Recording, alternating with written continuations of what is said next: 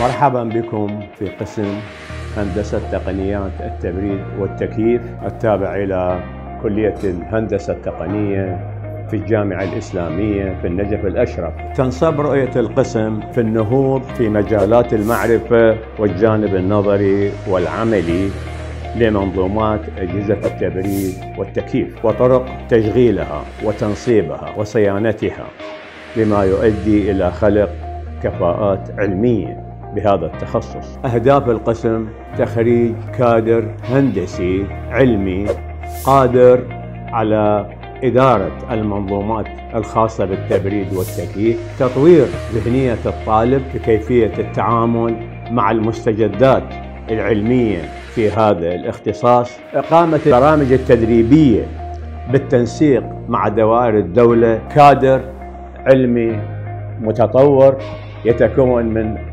أشخاص حاملين على شهادة الدكتوراه، عندنا عدد كبير من المختبرات بالقسم من مقاومة المواد ونظرية المكائن والاهتزازات والمواد الهندسية وانتقال الحرارة ومختبرات الثرموديناميك ومختبر الفلويد ومختبر التبريد والتكييف ومختبر الاختصاص.